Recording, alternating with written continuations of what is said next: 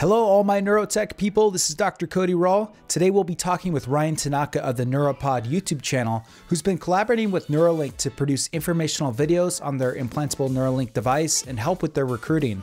We'll be talking about his experiences around Elon Musk, Lex Fridman, implantable BCI, what it's been like to interact with Neuralink as a company. Well, Ryan, thanks so much for coming on Techforpsych. I've been watching your Neura Pod episodes over the years, and I just think that they've offered such a unique insight to what's going on in invasive neurotechnology as well as their competitors. Would you mind telling us a little bit more about the channel and the work that you've been doing? Sure. Um, I started the channel a few years ago because I was so inspired by Neuralink's mission to solve debilitating brain and spinal cord injuries. Over time, I've looked into the technology that they're developing. Um, it's a very invasive implant approach. Um, and fortunately have gotten to know some of the employees. They're excited about what I'm doing with the channel. I'm excited about the work that they're doing. And so yeah, just that excitement about the future that they're building has allowed me to continue creating content about their company. Well, I think people um, are just fascinated by Neuralink because uh, being founded by one of the most famous people on the planet, Elon Musk, as well as this brain computer interface field just developing before our eyes. I know I've had an interesting viewpoint talking about these technologies for years. Um, and I wanted to ask you what you thought about as far as brain computer interface technology companies, because I know you went to go visit Kernel as well. We were going to discuss some of the differences between the two companies. But first off, what is that like interacting with a company that has such a rock star, just global household name like Elon Musk? Does that affect the company itself, or do they have their own culture and their own ways of doing things outside of his influence? I would say he has quite a bit of influence. Uh, the company is still quite small, at around 300 employees. His influence is outsized at that company relative to his influence at like Tesla or SpaceX, let's say. Tesla, for example, has 170,000 or around 200,000 employees. SpaceX has around 10,000. Certainly, like his way of doing business and operating influences how fast the company is going, the decisions that they're making. One of the other things that I found is although this is a different uh, industry that he's working on, a lot of the things that he's learned with technology or how to manage engineering teams, like a lot of those skills translate to what he's doing at Neuralink. I've found that they're building a rock star team like that's one of the things that i'm most excited about is the credentials and experience and and mindset like the passion that these people have that are working at neuralink. It's really felt. What was that like going to go visit for a neuralink event and just being around that culture that energy? The main takeaway that i had was how passionate and how smart the neuralink team is. They're really wanting this to be an available BCI for everybody. Every decision that they make is going for scale. They want to build their own surgical robots so that these can be implanted at scale. I mean, just literally everything that they're doing. That was cool to see.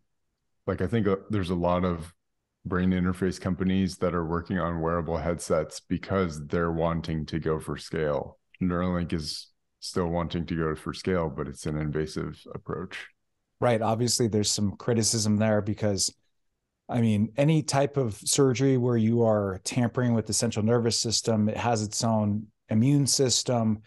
There are concerns for infection that type of thing. So what did you see from your end how they're trying to address this if they truly are going mainstream? Uh, it's it's it's a it's a big hurdle to overcome i think convincing people to be able to get surgery for this type of thing Right. Yeah. Um, I think at the beginning, like their focus is so much on helping people with medical conditions, um, like debilitating medical conditions. And so because of that, like the people who have those, they're willing to do quite a bit uh, to help their current condition. I think down the road, fortunately, it will be people the people who will get Neuralink are the ones who are so inspired happy about the prospect of being able to like play video games with just their mind or do things that some other folks may not find as valuable but they think it's so interesting that they're willing to be one of the first and they just they weigh the pros and cons of doing so and find that they would be okay with being like one of the initial non-medical use guinea pigs and at the um, event, was most of the focus on people that have disabilities, or was, it, was there much talk about going more to the general population? Medical was the primary uh, thing that people were looking at, that the team was concerned about. Um, Elon even specifically mentioned that he thinks that Neuralink is going to be working on these things for at least a decade, um, maybe two.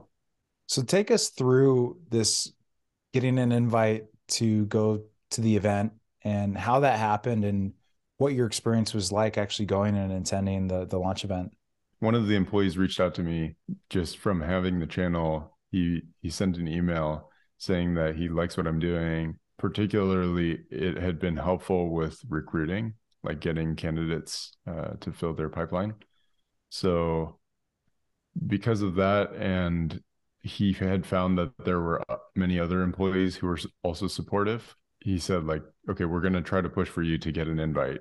And then when the event was about to happen, they had sent a thing internally. Who, who should we invite? I, I was told that there's like a Slack group that had messages supporting us or supporting me. So it was great to be able to attend. I I think the the media was quite limited. Like the only people that I found had YouTube channels that I knew of were Lex Fridman and I.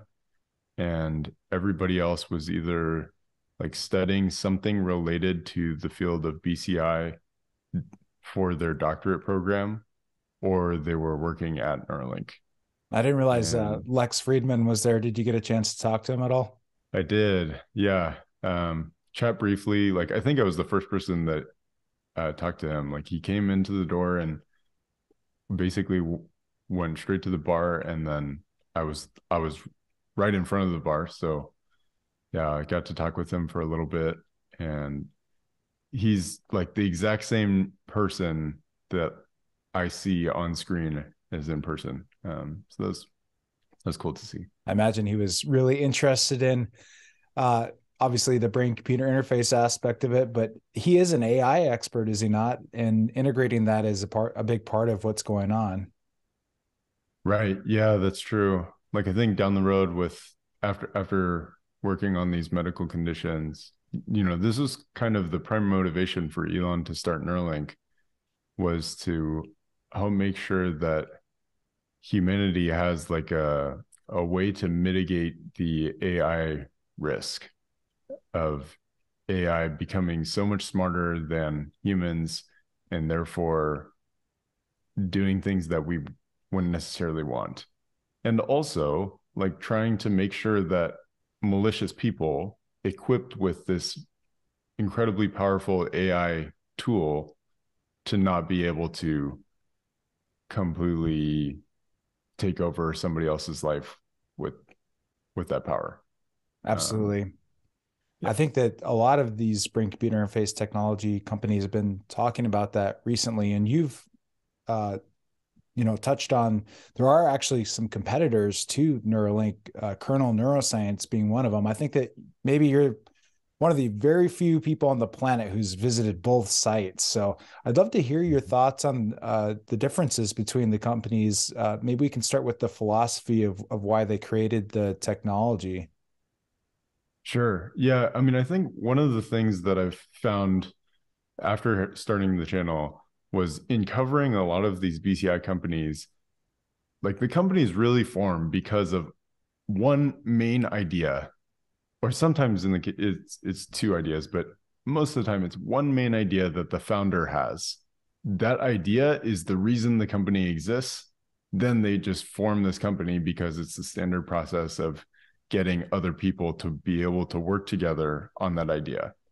In the case of Kernel, the pathway that they're going to take in the future that they have in mind or is guided so heavily by that core idea.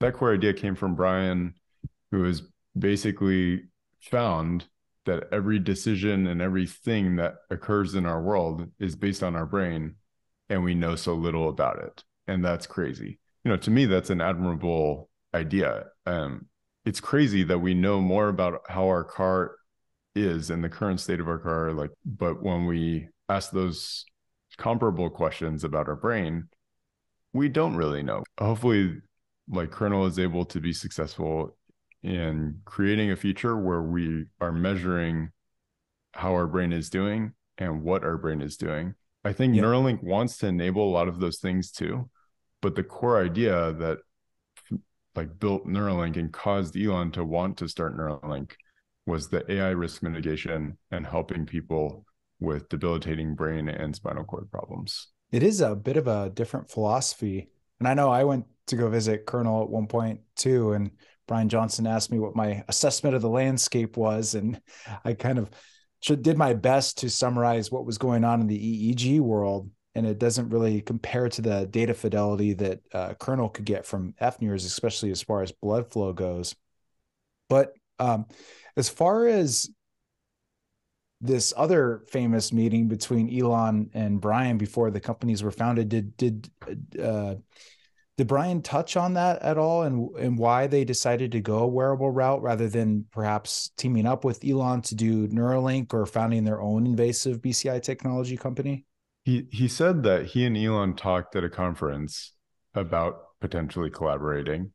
Um, the little that he said was basically they found that that wasn't the path forward.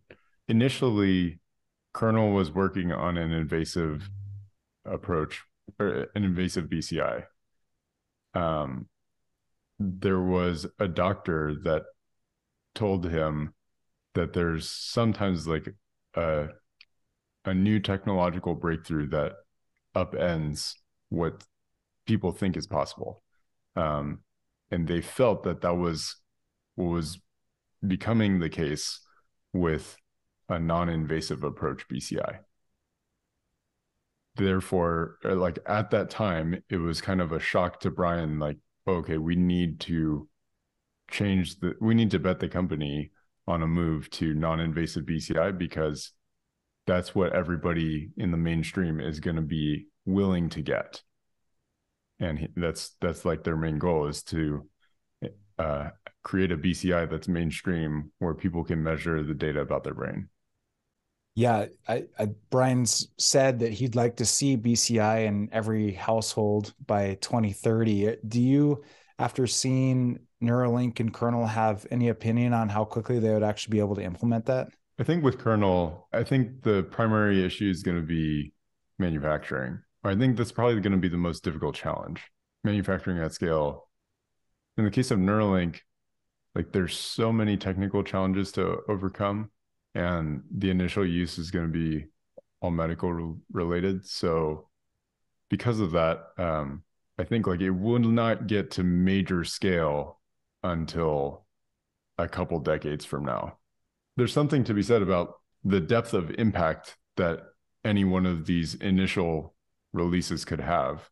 Or if you have Neuralink implants that drastically affect the people whose lives they were implanted in in a positive way but there's fewer of them and you just multiply the product of those two compared to like the the depth of impact that another product might have times the volume that that has it's like which which one is a greater product that that's probably the thing that matters the most yeah, sometimes it's not fair really to compare the two in certain sense because they're fulfilling different needs of society.